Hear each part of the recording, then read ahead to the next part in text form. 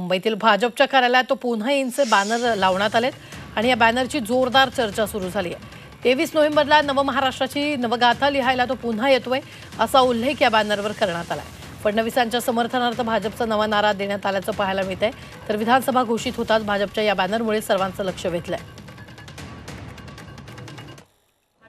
आपापल्या भावना आहेत. पक्षालाही वाटतं आपापल्या भावना व्यक्त केल्या आहेत. पण महायुतीमध्ये सध्या एकनाथ शिंदे मुख्यमंत्री आहे. आणि आमची निवडणूक मुख्यमंत्री पदाकरता नाही आहे महाराष्ट्राच्या चौदा कोटी जनतेला डबल इंजिन सरकारच्या माध्यमातून या महाराष्ट्राला क्रमांक एकवर आणण्याकरता आम्ही लढतो आहे.